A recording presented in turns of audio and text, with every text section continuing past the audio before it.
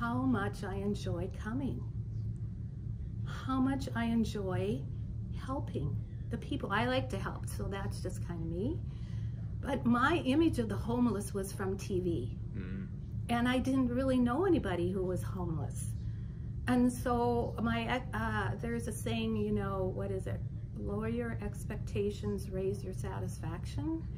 So I just came out and tried just to be open, but I am in the kitchen and not, uh, it's a commercial kitchen and I'm, you know, not quite comfortable in there, but I have people that help me.